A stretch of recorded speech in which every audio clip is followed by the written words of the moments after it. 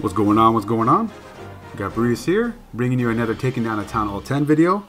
For today's topic, we have number 19 from our latest war in the CWL Finals, OneHive versus Dark Looters.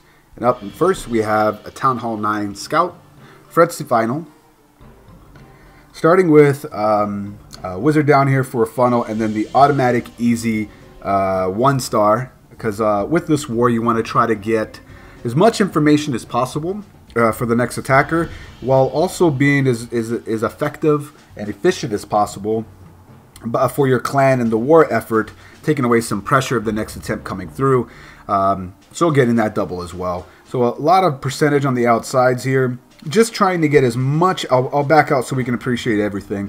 Just trying to get as much percentage as possible, while, as well as trying to figure out some uh, air troops and traps and things like air targeting um, uh, items such as Teslas and things like that, making sure there's no troll items or anything around the end. So he starts his um, walk down here. It's a little bit slow developing, and I don't want the video to be too long, so I'll go to times two. Starts to walk, really good idea, and the goal of this is to really see the troop behavior to see which way they're going to walk if you clear out the funnels the right way.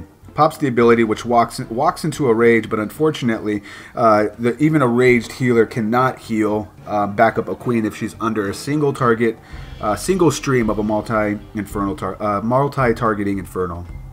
But nevertheless, you can see that the walk does work for the next Town Hall 10 coming in.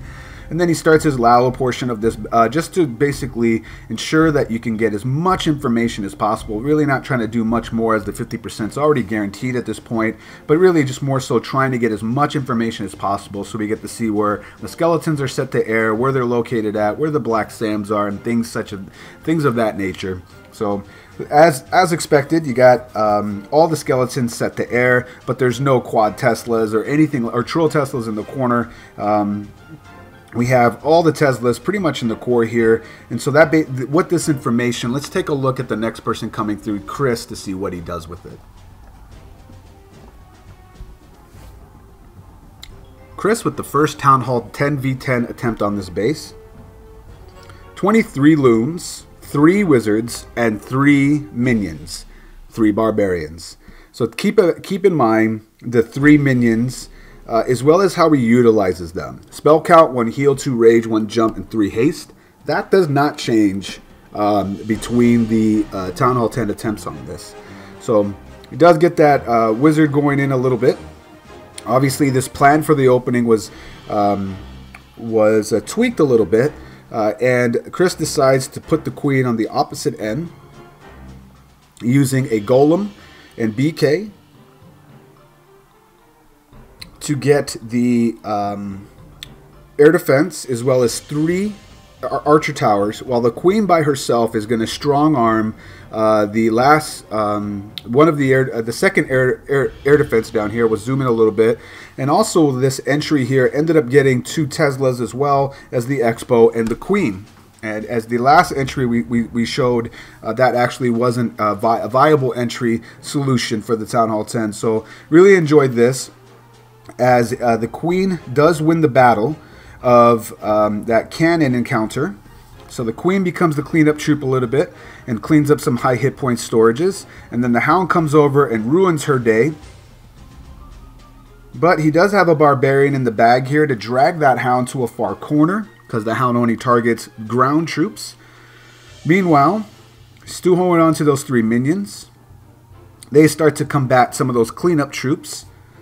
Starts in the loons a little bit early, and he doesn't have any on the back end for cleanup, but it does accomplish the goal uh, and ends up taking out all the defenses. But now he has all his loons at the top portion of the map, and there's a bunch of trash on the bottom that the hound busted ended up um, lava pups came onto the map and clean, uh, took away all his cleanup troops from the south and continued to wreck the any opportunity that he had in order to try to clean uh, achieve the three on uh, 10 on 10 three on this base. So we go to times two you can see how close this really came as these um, lava pups just continue to work on these loons up here. They're not going to make it but meanwhile he's got a couple of loons on the bottom end on this side. They will continue to survive but because these lava pups are going to irritate these loons, um, they're going to continue to irritate some more fast moving lava pups.